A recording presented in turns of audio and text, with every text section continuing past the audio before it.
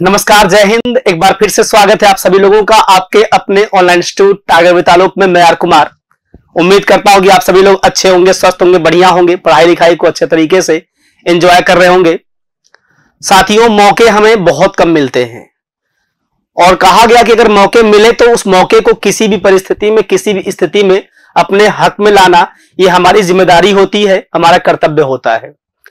आप देखिए, बिहार राज्य में एक बड़ी शिक्षक भर्ती की सफलता के बाद तुरंत छात्राओं के लिए, छात्रों के लिए एक नया त्योहार, एक नया प्रयोजन उनके जीवन को बिल्कुल मंगलमय कर देने वाला एक नया प्रयास बिहार शिक्षक भर्ती 2.0 के रूप में आपके समक्ष है, जहाँ पर जूनियर से लेकर के माध्यमिक, उच्चतर माध्यमिक में बहुत सारी बहुत सारी सीटों पर विज्ञापन आ चुका है। आपको पता है कि परीक्षा बहुत जल्दी होने वाली है और इसी प्रयास में हम सभी लोगों ने आपके लिए बिल्कुल निशुल्क बैच यहाँ पर प्रारंभ किया है जहाँ पर पूरी कोशिश होगी कि बिहार एग्ज़ाम के पैटर्न को ध्यान में रखते हुए जिस प्रकार से वहाँ पर प्रश्न बनते हैं उन्हीं प्रश्नों पर आधारित यहाँ पर आप सभी को आ, इतने कम समय में जो भी कुछ हमसे बन बन पड़े वो हम आपको देने का प्रयास करेंगे। साथियों कहा गया है कि मंजिल मिले ना मिले ये अलग बात है। और हम कोशिश भी ना करें, ये गलत बात है। तो हमारे पास जो भी संसाधन होंगे, हम उनका इस्तेमाल करते हुए, उनका प्रयोग करते हुए 100 परसेंट आपको यहाँ पर अपना सब कुछ देने का प्रयास करेंगे ताकि परीक्षा में वह आपके लिए बहुत कारगर हो। तो देखो, सामान्य विज्ञान विषय मैं पढ़ाता हूँ, जिसके क्रम में आज मैं आप लोगों से बात करूँगा। रसायन विज्ञान का एक महत्वपूर्ण टॉपिक है बहुलक, जिसको हम कहते हैं पॉलीमर पॉलीमर टॉपिक काफ़ी इंपॉर्टेंट टॉपिक है। वहाँ से बहुत सारे क्वेश्चन बनते हैं। जनरली हम लोग उस टॉपिक को बहुत कम पढ़ पाते हैं। आ, लेकिन आज की इस क्लास में मैं आप सभी को पॉलीमर की बात करूँगा क्योंकि टॉपिक बहुत टफ होता है। लेकिन मैटर नहीं करता हमारे लिए हम उस टॉपिक को अच्छे से पढ़ेंगे। अगर मैं आप सभी से बात करूँ पॉलीमर के विषय में साथियों तो पॉलीमर का मतलब होता है बहुलक। देखो बहुलक या पॉलीमर अब अगर इसके शाब्दिक अर्थ की बात करूँ मैं तो देखो, ब्रह्मांड में जो भी वस्तुएँ हैं, सभी वस्तु का कोई ना कोई इकाई भाग होता है यूनिट पार्ट होता है। और इकाई भाग मिलकर के एक बड़े भाग का निर्माण कर देते हैं। जैसे कि हमारा शरीर देखिए छोटी छोटी अत्यंत इकाइयों से बना हुआ जिसको कोशिका कहते हैं, कोशिका मिलकर के एक उच्च मतलब शरीर का निर्माण कर देता है। अणुओं से मिलकर परमाणु बन जाते हैं। इसी प्रकार देखिए, जब बहुत सारे एकलक मोनोमर जब इकट्ठा होते हैं तो बहुत सारे मोनोमर के मिलने से पॉलीमर बन जाता है।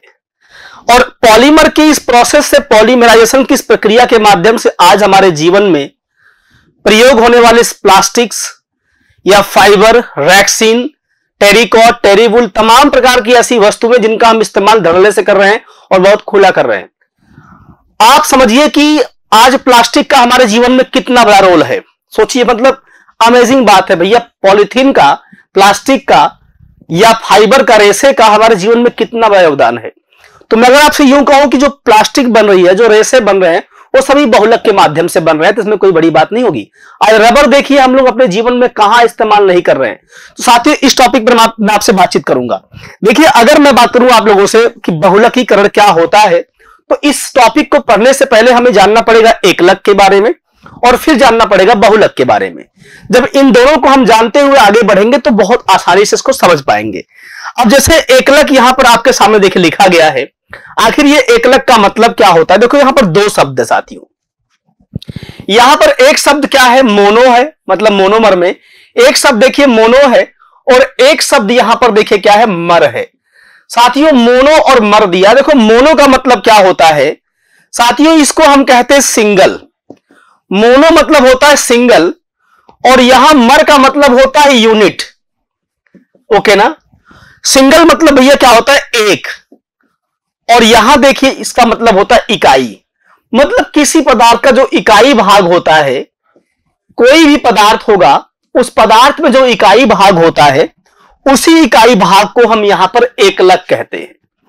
और इकाई भाग से मिलकर के फिर दोस्तों क्या बनता है? देखिए, बहुलक बन जाता है। यहाँ देखिए लिखा गया बहुलक। अब ये बहुलक क्या होगा? पॉलीमर इसे कहते हैं। दो शब्द यहाँ पर देखिए, पहला पॉली है और अगला शब्द इसका मर है। तो पॉली और मर, यहाँ पर पॉली का मतलब क्या होगा? पॉली मतलब होता है मल्टीपल। तो पॉली मतलब होता है मल्टीपल और मर मतलब होता है साथियों यूनिट अब मल्टीपल का मतलब होता है अनेक. यानी कि अनेक इकाई से मिलकर जो बना हुआ है, अनेक इकाइयों से मिलकर जो बना हुआ है, उस पदार्थ को हम यहाँ पर क्या कहते हैं? पॉलीमर कहते हैं. यानी ऐसा पदार्थ जो अनेकों इकाइयों से मिलकर बना हुआ है, उसे हम कहेंगे पॉलीमर और जो एक इकाई भाग होता है, जो पॉलीमर के निर्माण में भाग ले रहा है उसको हमने यहाँ पर कहा है मोनोमर। तो अब अगर बात करूँ मैं यहाँ पर पॉलीमर के बारे में कि साथियों, पॉलीमर आखिर होता क्या है, कैसे बनता है? तो यहाँ पर देखिए, कहते हैं कि जब बड़ी संख्या में, जब बड़ी संख्या में छोटे छोटे अणु मिल करके उच्च अणुभार का एक बड़ा यौगिक बनाते हैं, इस नए बने यौगिक को बहुलक कहते हैं और जिस प्रक्रिया से इस यौगिक का निर्माण हुआ, उस प्रक्रिया को बहुलकीकरण की प्रक्रिया कहते हैं। और इसमें सबसे बड़ी बात यह होती है कि जब एकलक से बहुलक बनते हैं, या जब एकलकों से बहुलक बनते हैं तो उच्च ताप और उच्च दाब की आवश्यकता भी होती है। यह भी पॉइंट आपको याद रखना पड़ेगा। तो जैसे यहाँ मैं अगर परिभाषित करूँगा तो सबसे पहली बात आप जान लीजिए कि सबसे पहले जोन्स बर्जीलियस नामक वैज्ञानिक ने इस बहुलकीकरण का शब्द का इस्तेमाल किया था। इन्होंने कहा था कि जब बड़ी संख्या में, बड़ी संख्या में छोटे अणु छोटे अणु मिलकर मिलकर उच्च दाब उच्च दाब व उच्च ताप पर, उच्च ताप पर पर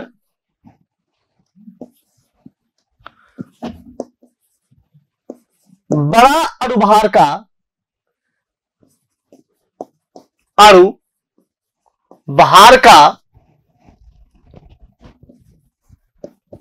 भार का एक अणु बनाते हैं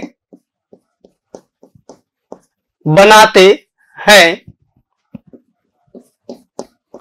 तो इस नए बने अणु को, इस नए बने अणु को अणु को बहुलक, क्या कहेंगे? बहुलक, तथा इस प्रक्रिया को, जो प्रक्रिया यहाँ पर हो रही है, इस प्रक्रिया को बहुलकीकरण कहते हैं। इस प्रक्रिया को क्या कहते हैं? बहुलकीकरण कहते हैं। बहुलकीकरण कहते हैं। तो यहाँ पर आपने देखा कि किस प्रकार से छोटे छोटे जब अणु मिलते हैं तो यह उच्च अणुभार का एक साथियों बड़ा योगी बनाते हैं। तो इसी प्रक्रिया को देखिए हम क्या कहते हैं। इस प्रक्रिया को हम कहते हैं बहुलकीकरण। यहाँ पर इस प्रक्रिया को और भी आप आसानी समझ सकते हैं। जैसे मान लीजिए, अब यहाँ देखिए, ये क्या साथियों, देखिए, ये मोनोमर है। तो ये बहुत सारे बहुत सारे देखिए मोनोमर्स हैं मतलब ये एकलक हैं। जो बहुत सारे एकलक होते हैं, ये क्या करेंगे? ये देखिए हाई प्रेशर पर और हाई टेम्परेचर पर मतलब यहाँ कहेंगे, यहाँ देखिए उच्च दाब होगा, उच्च दाब पर और कहेंगे उच्च ताप पर। उच्च दाब और उच्च ताप पर क्या करेंगे ये? ये बहुत सारे मोनोमर मिल करके एक पॉलीमर अर्थात बहुलक का निर्माण करेंगे। एक पॉलीमर यानी बहुलक का निर्माण करेंगे। और इसी प्रक्रिया को दोस्तों, इसको हम क्या कहते हैं? इस प्रक्रिया को हम कहते हैं बहुलकीकरण। और ध्यान रखना आप सभी लोग, इस बहुलकीकरण की प्रक्रिया में, है ना? इसी को हम कहते हैं बहुलकीकरण। पॉलीमराइजेशन। और इस प्रक्रिया के द्वारा आप जानते रहना साथियों, इसी प्रक्रिया से कहेंगे, इस प्रक्रिया द्वारा प्रक्रिया द्वारा क्या क्या बनता है? आप खुद से सोचिए कि आखिर इससे क्या बनता है। तो इससे बनता है संश्लेषित प्लास्टिक। संश्लेषित, यानी कि सिंथेटिक प्लास्टिक तो इससे बनता है सिंथेटिक प्लास्टिक और इसी प्रक्रिया से साथियों, इसी प्रक्रिया से हम क्या बनाते हैं? संश्लेषित रेशा। तो इसी प्रक्रिया से संश्लेषित रेशा भी बनता है। रेशा भी बनता है। इसी प्रक्रिया से। साथियों, इसी प्रक्रिया से संश्लेषित रबर बनता है। रबर। रबर बनाते हैं। तो इन सब प्रक्रिया के माध्यम से देखिए इनका निर्माण होता है। तो यही देखिए क्रिया क्या है, इसी को हम कहते हैं बहुलकीकरण। बहुत इजी है, समझ गए होंगे आप सभी लोग। लेकिन अब देखिए हम आगे बढ़ेंगे और जहाँ से प्रश्न हमारे बनते हैं, हम उसकी बात करेंगे। जनरली हमारे दैनिक जीवन में अगर आप देखेंगे, सुबह से लेकर के शाम तक, अपने जीवन में हम सबसे ज़्यादा इस्तेमाल क्या करते हैं? बहुलक। जैसे कि synthetic plastic synthetic fibre synthetic rubber अगर आप देखेंगे, आपके कपड़े से लेकर, यहाँ देखो मेरे हाथ में पेन है साथ ही फाइबर की, यहाँ देखिए रबर का, देखिए यहाँ पर मेरे पास ये है। साथ ही कपड़े कैसे रेसे के बने, देखिए दोस्तों ये भी रेसा है, फाइबर है। यानी ऊपर से, देखिए, सूज है, सॉक्स है, बेल्ट है, सब ऊपर से नीचे तक, जो भी मेरे हाथ, जो भी मेरे पास है वर्तमान में, ये सभी क्या है? या तो प्लास्टिक है, या तो रेसा है, या रबर है। तो मतलब हम इसके द्वारा घिरे हुए हैं। आइए डिस्कस करते हैं आगे। यहाँ देखिए हम साथियों बात करेंगे प्लास्टिक के बारे में। यूँ कहे कि हमारे, हम लोगों ने इनको अपना लिया है। इसको अपना लिया है। और या यूँ कहे कि इसने क्या किया, हमारे जीवन में ऐसी जगह बना ली है, जिसके बिना हम नहीं रह सकते हैं। साथियों, हम सभी को पता है कि जो प्लास्टिक है, ये हमारे लिए अभिशाप है। क्योंकि ये अगर इसको मिट्टी में दबा दें हम तो 200 साल तक नहीं सड़ती है, लेकिन अगर जला दे इसको तो इसके निकलने वाले धुएँ से पॉल्यूशन ज़्यादा होता है। तो हमें पता कि हमारे लिए जहर है ये, लेकिन तब भी हमारी मजबूरी हम इसका इस्तेमाल करते हैं। हम सब बताएँगे आपको कैसे इसका इस्तेमाल हम बंद कर सकते हैं, तमाम चीज़ें ऐसी होंगी। अब यहाँ देखिए मैं प्लास्टिक की बात करूँगा, प्लास्टिक आखिर होता क्या है? सबसे पहले लियो ब्लैक लियो बैकलैंड साहब ने क्या किया था? प्लास्टिक नाम का शब्द दिया था। लियो बैकलैंड। तो सबसे पहले प्लास्टिक शब्द की जो देन, इनकी देन है। इन्होंने कहा था कि आधुनिक युग में सर्वाधिक प्रयोग होने वाला अगर कोई बहुलक है तो वह प्लास्टिक है। यानी वर्तमान समय में अगर हम किसी भी पॉलीमर का सबसे ज़्यादा इस्तेमाल करते तो वह प्लास्टिक है। प्लास्टिक क्यों हानिकारक होता है? क्यों जहरीला होता है? क्यों हमारे इकोसिस्टम में यह तबाही करता है। क्यों इसको खा, खाने से जंतु मर जाते हैं? साथियों क्योंकि बहुत सारे असंतृप्त हाइड्रोकार्बन के जटिल बहुलक से बनता है। मतलब बहुत से असंतृप्त हाइड्रोकार्बन जो होते हैं उनके बहुलक से बनता है भैया और कहते हैं स्वतः अपघटित ना होने वाला बहुलक है। इसका मतलब यह है कि स्वयं से यह नष्ट नहीं होता है। तो स्वयं से नष्ट ना होने वाला बहुलक है। यह अपने आप खत्म नहीं होता है बायोडिग्रेबल नहीं होता है। जैसे मान लीजिए अन्य फाइबर वगैरह होते हैं तो हो जाते हैं सेलोज वगैरह है स्टार्च है, लेकिन यह क्या है बायोडिग्रेबल नहीं होता है। प्राकृतिक प्लास्टिक जो बनती है, उसको नाम देते हैं लिच्छा। अच्छा लिच्छा देखो क्या ये पेड़ पौधों से मिलती है, इसको हम कहते हैं नेचुरल प्लास्टिक ये प्राकृतिक प्लास्टिक है एक्चुअली में। अब यहाँ बात करेंगे, सबसे पहले हम सिंथेटिक प्लास्टिक की। तो प्लास्टिक का शब्द दिया था, लियो ब्लैकलैंड ने। लेकिन यहाँ जो सिंथेटिक प्लास्टिक है, संश्लेषित प्लास्टिक की खोज एलेक्जेंडर पार्क्स ने की। तो सबसे पहले यही वो वैज्ञानिक थे जिन्होंने प्लास्टिक की खोज करी थी, जो सिंथेटिक प्लास्टिक थी। और इनके अनुसार जो प्लास्टिक होती है, वो दो प्रकार की होती है। पहली आपकी होती है थर्मोप्लास्टिक, दूसरी आपकी होती है थर्मोसेटिंग प्लास्टिक। अच्छा इन दोनों प्लास्टिक में डिफरेंट क्या है? यहाँ आपको हम डिफरेंट बताएँगे इनमें क्या क्या अंतर होता है, इनमें क्या क्या डिफरेंट होता है, दोनों प्लास्टिक में। जैसे अभी आप देखिए, कुछ ऐसी प्लास्टिक इसमें आपको दिखाई देंगी, जिनको अगर हम गर्म करें तो वो मुलायम हो जाएँगी। जैसे इनमें जितनी प्लास्टिक आपको दिख रही है, चाहे ये पॉलिथीन दिख रही है, आपको ये है, या साथियों, ये सब है, अगर इनको हम गर्म करेंगे तो ये मुलायम हो जाती है। तो ऐसी प्लास्टिक जिनको गर्म करने पर वो मुलायम हो जाएँ तो उन्हें हम पुनः दूसरे आकार में ढाल सकते हैं। ऐसे प्लास्टिक को हम थर्मोप्लास्टिक कहते हैं। यानी ऐसे प्लास्टिक जो गर्म करने पर मुलायम हो जाएँ, और जब वो मुलायम हो जाएँगे तो मनचाहा उनको आकार हम दे पाएँगे। तो ऐसे प्लास्टिक को थर्मोप्लास्टिक नाम दिया गया है। लेकिन ऐसे प्लास्टिक जो गर्म करने पर मुलायम ना हो तो ज़ाहिर सी बात हो, गर्म करने पर सीधे पिघल करके खत्म हो जाते हैं। तो ऐसे प्लास्टिक को हम मनचाहा आकार नहीं दे पाते हैं। और इस प्रकार के जो प्लास्टिक होते हैं, ऐसे प्लास्टिक को हम नाम देते हैं थर्मोसेटिंग प्लास्टिक। आपने अपने घर में जो स्विच बोर्ड है, उसको देखा होगा, जब स्विच बोर्ड में आग लगती है तो वो पिघल करके मुलायम नहीं होता, बल्कि बिल्कुल टाइट हो जाता है। वो थर्मोसेटिंग प्लास्टिक होता है। अब यहाँ पर अगर मैं आप लोगों से बात करूँ थर्मोप्लास्टिक के बारे में तो देखिए थर्मोप्लास्टिक के बारे में यही कथन दे रहा है कि ऐसे प्लास्टिक जो गर्म करने पर मुलायम हो जाते हैं और उन्हें इच्छानुसार अलग अलग रूपों में हम ढाल सकते हैं वही थर्मोप्लास्टिक होते हैं। अब जैसे यहाँ पर थर्मोप्लास्टिक में कुछ आ, कुछ ऐसे उदाहरण हैं जिनके विषय में जानकारी होना ज़रूरी है। जैसे पहला पॉलीथीन दिया है। अब पॉलीथीन के बारे में देखो ये सब पॉलीथीन का रूप है। साथ ही जो पॉलीथीन होता है वो एथिलीन का बहुलक है। मतलब एथिलीन से मिलकर के बहुत सारे जब एथिलीन मिलते हैं तो बहुत सारे एथिलीन के मिलने से पॉलीथीन बनता है। तो पॉलीथीन एथिलीन का जटिल बहुलक होता है। अब देखो पॉलीथीन का यूज़ क्या हमारे जीवन में। हम तो इसके बिना रह नहीं सकते। इससे थैली बनती है, सीसी बनती है, ट्यूब बनती है, बाल्टियाँ हैं, ग्लास है, पाइप है, तारों का कवर होता है, पैकिंग सामग्री है। मतलब बहुत सारी चीज़ें हम प्लास्टिक से यहाँ पर बनती हैं। पॉलिथीन से बनती हैं। अब पॉलिथीन साथियों, क्या है? एथिलीन का बहुलक है।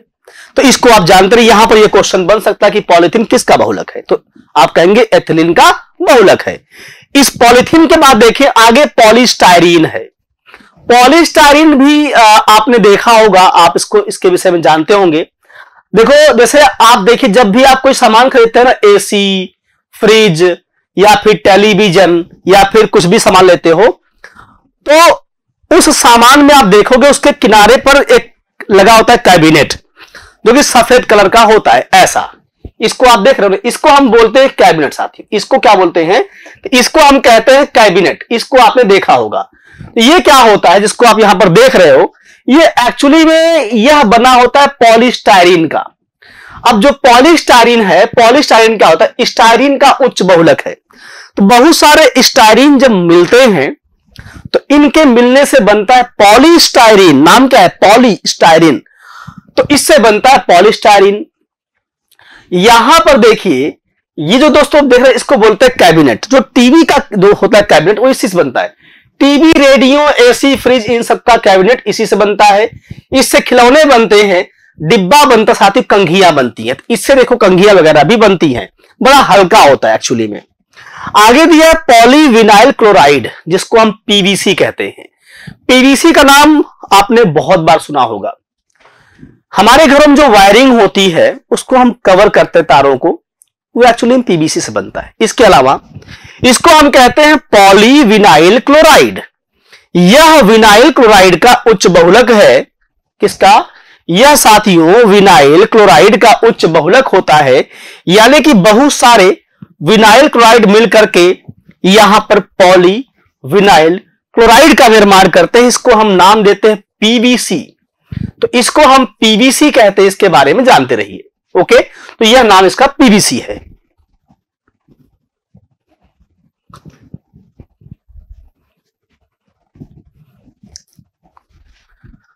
तो अब इस पीवीसी से क्या बनता है? ठीक है ना? तो आप यहाँ देखिए, जो पाइप, ये वाली सिंचाई करने वाली पाइप होती है, ये पाइप होती है। यहाँ जो हम लोग बोर करते हैं, पानी वाली पाइप, ये पाइप होती है। इसके अलावा रिकॉर्ड बैग है रेनकोट खिलौना, बाल्टी और डिब्बा। रेनकोट जो हम पहनते हैं, वह भी पीवीसी की बनी हो, जल्दी भीगती नहीं है। तो पीवीसी की बनी होती है रेनकोट यह भी आपको जानकारी होनी चाहिए। यह हो गया आपका पीवीसी। अच्छा इसके बाद देखिए साथियों, आगे है पॉलीप्रोपोलिन है और टेफलॉन। टेफलॉन के बारे में बहुत सारे क्वेश्चन बनते हैं तो इसके बारे में पढ़ना आवश्यक है। तो जैसे यहाँ पर आप सभी लोग देखिए ध्यान से यहाँ पर दिया हुआ है पॉलीप्रोपुलिन।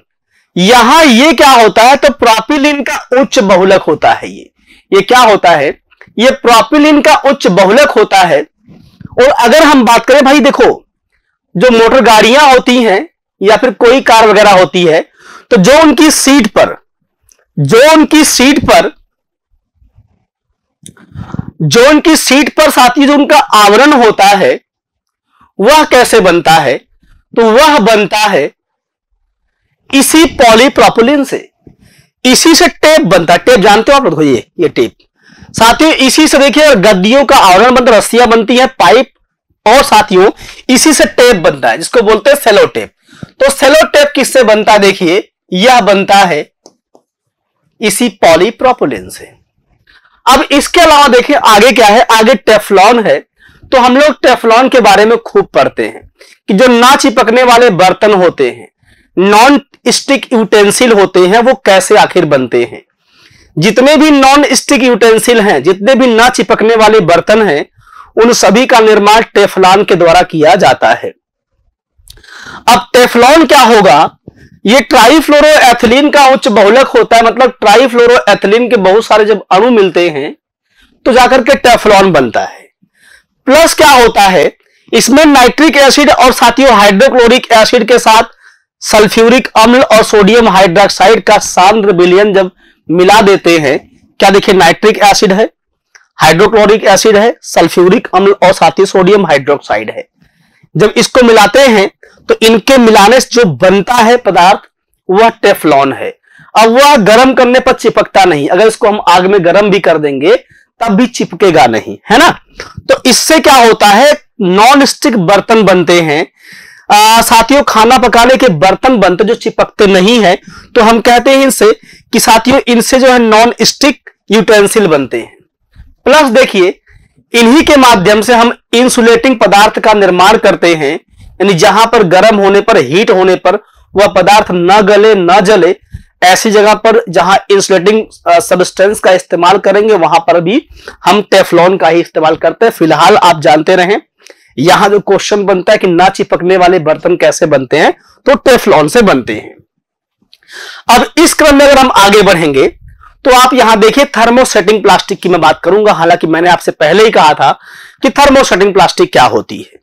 तो थर्मोसेटिंग प्लास्टिक ऐसी प्लास्टिक जो गर्म करने पर मुलायम नहीं होती ये गर्म करने पर बहुत कठोर हो जाती है, जिस कारण से इसको हम मनचाहे रूप में ढाल नहीं सकते। हैं तो ऐसे प्लास्टिक जो गर्म करने पर मुलायम नहीं होती, इनको रिसाइकिल करके पुनः नए पदार्थों का निर्माण नहीं किया जा सकता है। अब जैसे का जैसे पहला इसमें बैकेलाइट है। अब बैकेलाइट का जो इस्तेमाल है देखिए स्विच बोर्ड में करते हैं। इलेक्ट्रिक स्विच बोर्ड में, अगर इसमें आग लग जाती है ना, ये बहुत टाइट हो जाता है। तो इलेक्ट्रिक स्विच बोर्ड है, बाल्टियाँ है कप वगैरह है, वो बैकलाइट से ही बनते हैं। अब यहाँ पर देखेंगे सभी लोग बैकलाइट्स क्या, इसमें फिनाल है फॉर्मल्डिहाइड है। जब फिनाल को फॉर्मल्डिहाइड को, इन दोनों को सोडियम हाइड्रोक्साइड के साथ गर्म करते हैं तो उनसे क्या मिलेगा? उनसे हमको मिलता है बैकेलाइट यानी कि फिनाल को फॉर्मल्डिहाइड के साथ मिलाकर जब सोडियम हाइड्रोक्साइड में गर्म करेंगे तो इनके बहुलकीकरण से, इनके साथियों पॉलीमराइजेशन से क्या बनता है? यहाँ पर बनता है बैकेलाइट जिसका यूज़ मग, बाल्टी स्विच फ्यूज इलेक्ट्रिक उपकरण इत्यादि के निर्माण में किया जाता है। तो ये आप जानते रहे। अब इसके बाद देखिए, अगला होता है मेलामाइन देखो मेलामाइन क्या है? सी थ्री या सिक्स साथियों, आपका जो है एन सिक्स यहाँ जो मेलामाइन होता है आपके घरों में, जो आप लोग अपने घरों में, जो फर्श होता है, फर्श पे पतली सी आप लोग क्या करते हो, एक सीट लगाते हो, है ना? जो सीट होती है, वो पतली सी होती है और जो फर्श की सीट होती है, वह इसी से बनती है। तो फर्श की सीट या अन्य जो सामान बनते साथ इसी से बनते हैं। मेलामाइन के माध्यम से अलग अलग सीट होती है, जो लगाते हम लोग फर्श पे। अब इसके बाद देखिए प्लास्टिक तो हमने पढ़ा। अब प्लास्टिक के बाद जो अगला महत्वपूर्ण चीज़ है, जो अब जो सिंथेटिक फाइबर होता है, वह रेसा है साथियों। जो अगला इंपॉर्टेंट पॉलीमर है, वो रेसा फाइबर है। आप जानते जो रेसा होता है, हमारे कपड़े जितने भी सब रेसे से बनते हैं फाइबर से बनते हैं, ठीक है? और हम कपड़ों का हमारे जीवन में कितना इस्तेमाल साथियों क्या, देखिए बेडशीट से लेकर के पहनने वाले कपड़े से गद्दे से लेकर रजाई तक कंबल तक। मतलब एवरीवेयर हम उसका इस्तेमाल करते हैं। तो यहाँ आप जानते हैं जो रेसा होता है वो क्या होता है। रेशा प्राकृतिक भी होता है, रेशा कृत्रिम भी होता है। यहाँ दोनों की बात करेंगे। इससे आपने पढ़ा होगा सेलुलोज के बारे में। सेलुलोज है, स्टार्च है, ये सभी जो है प्राकृतिक रेसे होते हैं, लेकिन यहाँ पर कृत्रिम रेशा क्या होता है, हम उसके बारे में बात करेंगे। फ़िलहाल कहते हैं किसी प्राकृतिक या कृत्रिम पदार्थों के तंतु को हम रेसा कहते हैं। तंतु मतलब साथियों, पतला सा उसका इकाई भाग होता है। तंतु मतलब तार होता है, पतला सा तार। तो किसी प्राकृतिक या कृत्रिम पदार्थों के पतले तंतु को रेसा या फाइबर कहते हैं। रेसे तीन प्रकार के होते हैं। पहला आपका होता है प्राकृतिक रेसा, जो कि पूरी तरह से प्रकृति में विद्यमान हो। जैसे रेशम आपका हो गया है, मकड़ी का देखो जाला हो गया है आपका, कपास आपका हो गया है, फ्लैक्स आपका हो गया है, सनई हो गया है। तो ये सब प्राकृतिक रेसे होते हैं और एक आपका होता है सिंथेटिक जिसको हम बनाते हैं प्रयोगशाला में नायलॉन नाम का, है ना? टेरिकाट हो गया टेरी वुल हो गया, ये सब। और एक होता है अर्ध कृत्रिम। अर्ध कृत्रिम मतलब जो आधा कृत्रिम हो, आधा प्राकृतिक हो, जैसे वैक्सीन तो आधा कृत्रिम और आधा प्राकृतिक, उसको हम बोलते हैं अर्ध कृत्रिम। तो यहाँ तीन प्रकार के रेशे होते सबसे पहले हम बात करेंगे यहाँ पर प्राकृतिक रेशों के बारे में। साथियों, प्राकृतिक रेशे देखिए दो प्रकार के होते हैं। एक जो पेड़ पौधों से मिलते हैं और एक जो जंतुओं से मिलते हैं। अब अगर देखा जाए जो प्राकृतिक रेशे होते हैं, उसमें सबसे पहला आपका होता है वानस्पतिक रेशा, जिसको हम कहते हैं प्लांट फाइबर यानी कुछ रेशे ऐसे जो हमको केवल और केवल पेड़ पौधों से मिलते हैं, कुछ केवल जंतुओं से मिलते हैं, कुछ खनिजों से मिलते हैं। तो तीनों को हम कहते हैं प्राकृतिक रेशा तो यहाँ पर जो प्राकृतिक रेशा होता है, तीन प्रकार का।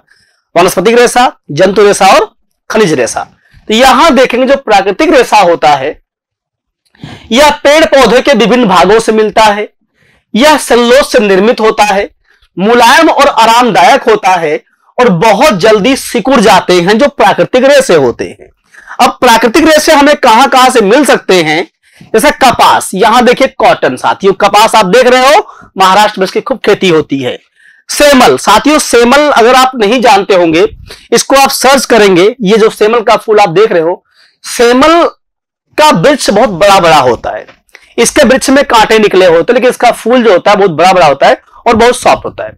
सेमल में बनने वाला जो रेशा होता है, वो बहुत ही मुलायम होता है। आगे जूट है रेनी है, फ्लैक्स है और नारियल। देखिए साथियों, देखिए यहाँ पर साथियों ये क्या है, देखिए, ये आपका जूट, देखिए यहाँ पर ये जूट आपका है, जिसको हम सनई बोलते हैं, है ना? देखिए ये आपका फ्लैक्स है, ये आपका देखिए नारियल है। तो यहाँ पर ये सभी क्या है, प्राकृतिक रेसे, और प्राकृतिक में क्या है, ये वनस्पतिक रेसे हैं, जिनका सोर्स क्या, सीधे पेड़ पौधे हैं। तो सीधे तौर पर ये पेड़ पौधों से ही प्राप्त होते हैं। इसके बाद देखिए आपका दिया प्राणिज रेसा, यानी कि एनिमल फाइबर यानी ऐसे रेसे जो हमको जंतुओं से प्राप्त हो। ऐसे रेसे जो हमको एनिमल से सीधे मिल जाते हैं, जंतुओं से प्राप्त होते हैं। आप देखते होंगे, हालाँकि आपके मन में जो सबसे बड़ी बात आती है, वो रेशम कीट की आती है। लोग समझते बस रेशम कीट ही है, जो कि मालबेरी के पौधे पर होता है। लार्वा, अपने लार्वा स्टेज में अपने, या जो अपने मुँह से जो लार्व निकालता है, उसी से रेशम प्राप्त होता है। ये सब हम जानते हैं बॉम्बेक्स मोराइस को हम कहते हैं। तो यहाँ पर देखिए साथियों इस रेशम कीट के अलावा ऐसे बहुत सारे सोर्स और भी हैं जिनसे हमें रेशा प्राप्त होता है। जैसे कि आप देखेंगे भेड़। साथियों, भेड़ की कुछ ऐसी ऐसी प्रजातियाँ होती हैं जो केवल ऊन के लिए ही पाली जाती हैं और भेड़ों के ऊन जो है काफ़ी मात्रा में जिनसे कंबल बनता है, गद्दे बनते हैं, साथियों, कपड़े बनते हैं गर्म कपड़े जो होते हैं वो बनते हैं। तो भेड़ जो होती हैं इनका पर्पज क्या होता है? ऊन के पर्पज से ही इनको हम पालते हैं, ठीक है ना? मतलब इनको जो है, रेशे के पर्पज से ही पालते हैं। इसके बाद देखिए आपका क्या है यहाँ पर? साथियों देखा रेशम कीट हो गया।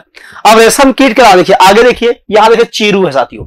ये चीरू है, जंगल में रहता है, जनरली जैसे भेड़ के ऊपर से बॉडी से हम रेशम रेशा रेशा प्राप्त करते हैं, वैसे चीरू से रेशा प्राप्त करते हैं।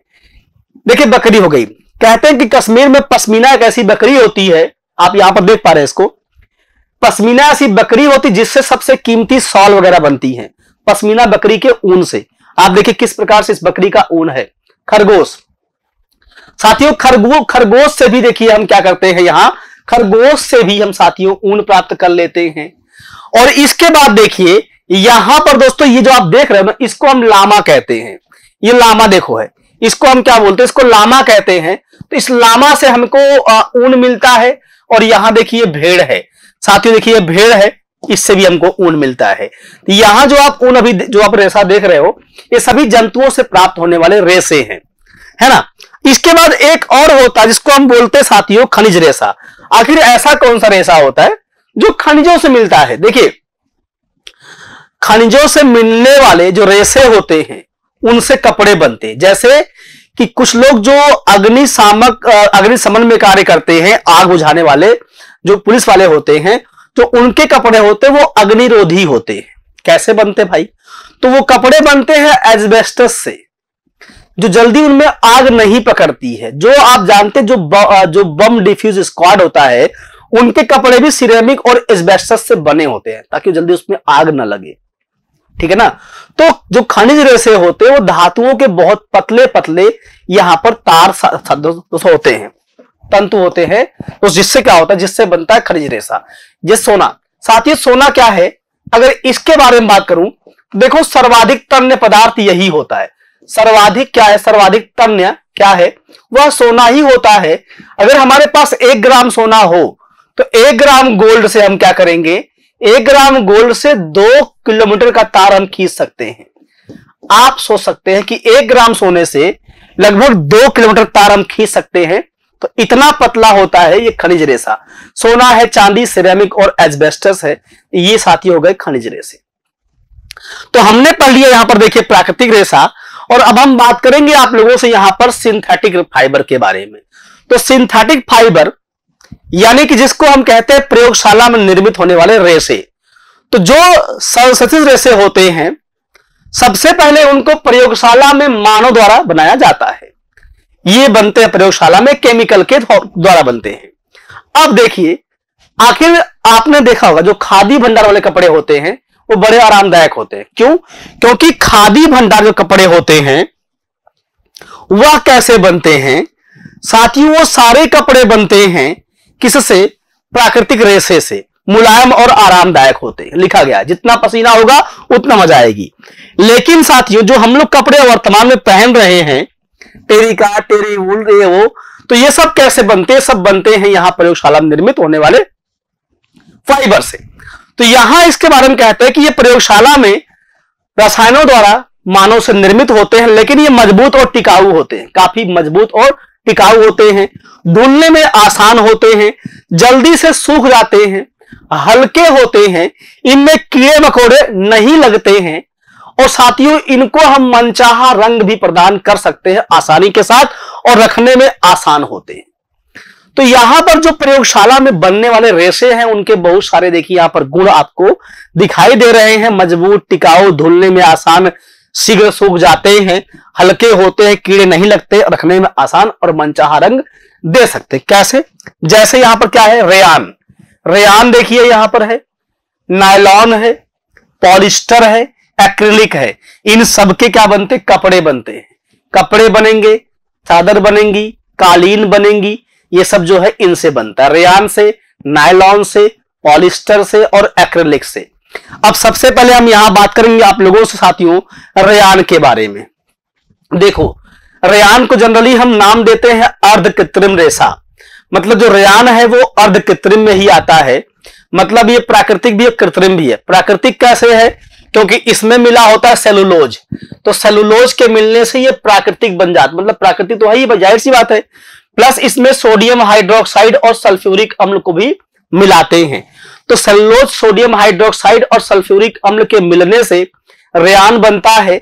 और साथियों, जो रेयान होता है, इसको हम पुनः निर्मित कर सकते हैं। क्योंकि प्रयोगशाला बन रहा है तो इसको हम पुनः निर्मित कर सकते हैं।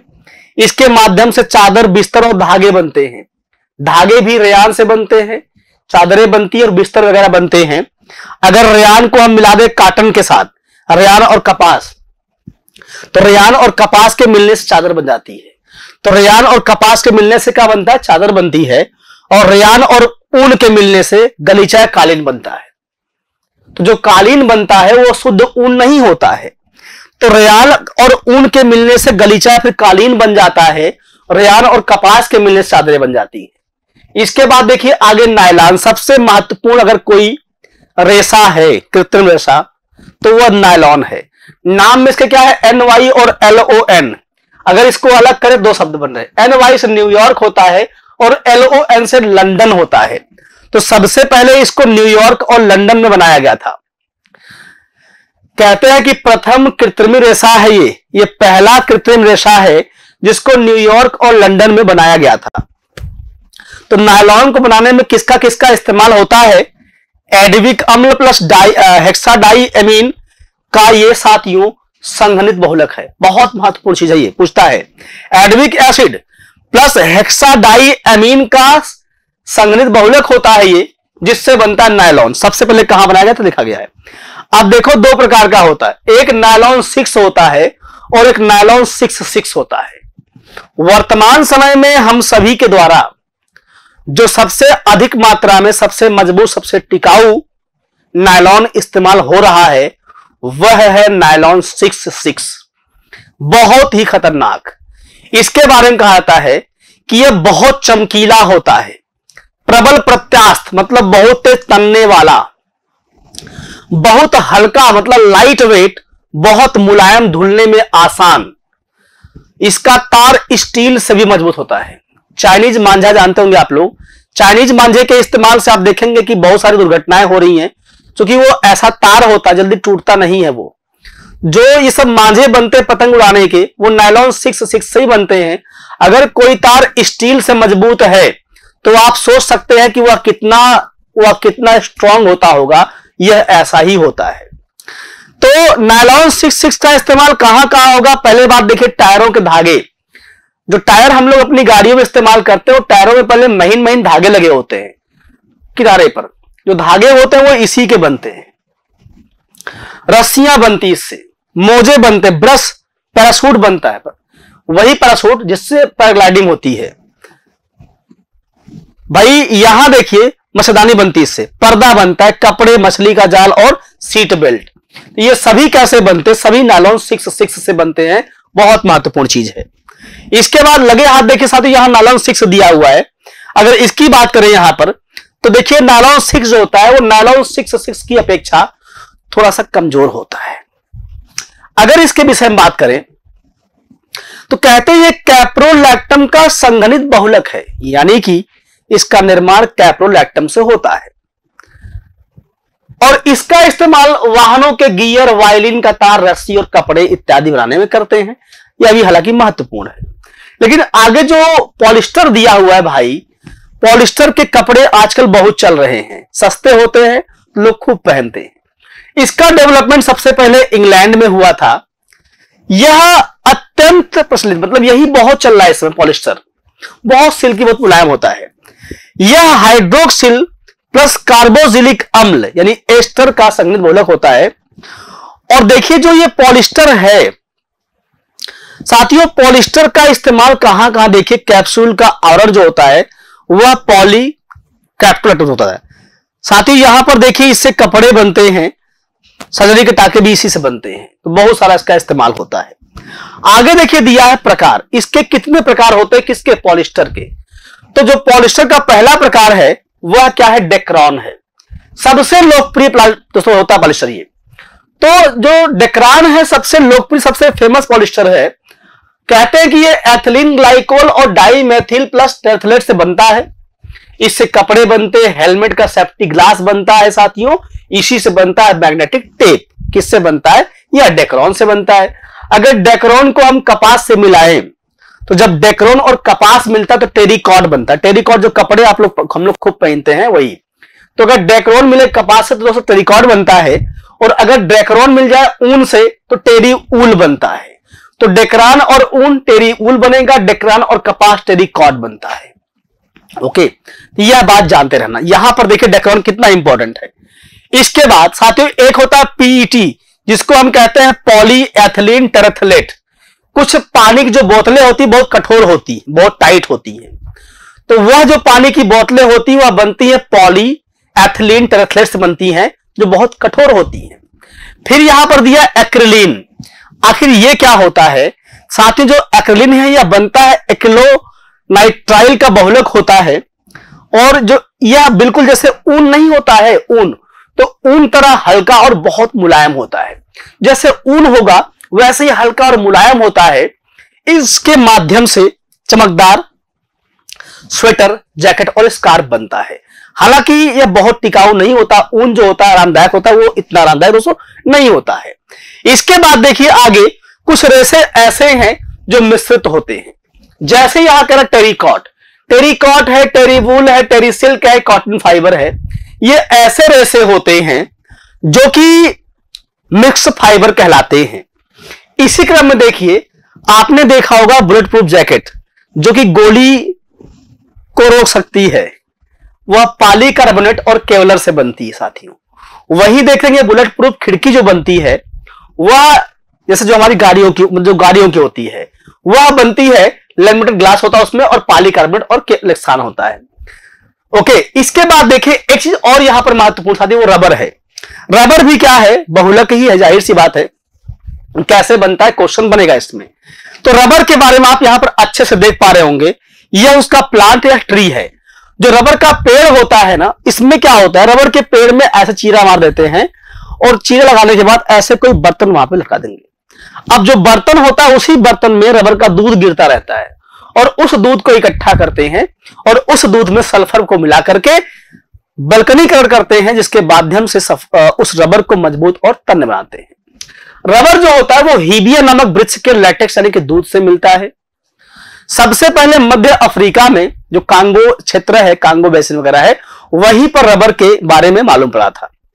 रबर जो होता है, वो आइसोप्रीन का प्राकृतिक बहुलक है। आइसोप्रीन जो है ना आइसोप्रीन का प्राकृतिक बहुलक क्या रबर होता है? तो ये जो आइसोप्रीन है, वो रबर के दूध में होता है। रबर में पाँच परसेंट सल्फ़र मिलाकर के इसको तन्य और मज़बूत बनाते हैं। लेकिन जो मेन बात यहाँ पर है, जैसे क्या है कि जो यहाँ पर संश्लेषित रबर होता है, जिसको प्रयोगशाला बनाते हैं, वो कैसे बनता है? तो सबसे पहले देखिए, यहाँ सिंथेटिक रबर की खोज किया था किसने? चार्ल्स गुड ईयर ने और साथियों, कहा था कि यह नियोप्रीन या क्लोरोप्रीन का बहुलक है। ध्यान देना यहाँ पर, समझने वाली बात है। जो नियोप्रीन या क्लोरोप्रीन है, यह यह कृत्रिम बहुलक होता है। रबर इसका कृत्रिम बहुलक है। लेकिन जो आइसोप्रीन है, इसका प्राकृतिक बहुलक होता है रबर। साथियों, रबर आप देखेंगे तो ब्यूना एस बिना एन कई प्रकार का होता है जनरली जो रबर होता है। साथ ही इस रबर से क्या बनता है, बस आप जानते रहिए। रबर से टायर वगैरह बनते हैं। इनका इस्तेमाल हमारे जीवन में बहुत सारा होता है। तो इस तरह देखिए जो टॉपिक आपका है, ये आपका जो है, बहुलक टॉपिक बहुत महत्वपूर्ण होता है। तो इस टॉपिक के साथ हम लोग अपनी क्लास को खत्म करेंगे। कोशिश रहेगी कि जितने भी महत्वपूर्ण टॉपिक आपकी परीक्षा में आने वाले हैं, उन सब पर हम लोग ऐसे ही बातचीत करेंगे। समय कम है, इसलिए समय कम, समय की कमी को देखते हुए, समय के अभाव को देखते हुए यहाँ जो हम लोग पढ़ रहे हैं, उसको एज ए पीडीएफ पढ़ रहे हैं। यानी कि यहाँ पर मैं लिख नहीं रहा, बल्कि आपको दिखा रहा हूँ। और समय की मांग भी यही है, समय इतना कम है कि आपको यही करना पड़ेगा। मौके मिले हैं, इस मौके को हाथ से मत जाने दीजिए, पूरा प्रयास करिए, लगे रहिए। मुलाकात करेंगे बहुत जल्दी आप सभी से एक नए एपिसोड में। धन्यवाद, जय हिंद।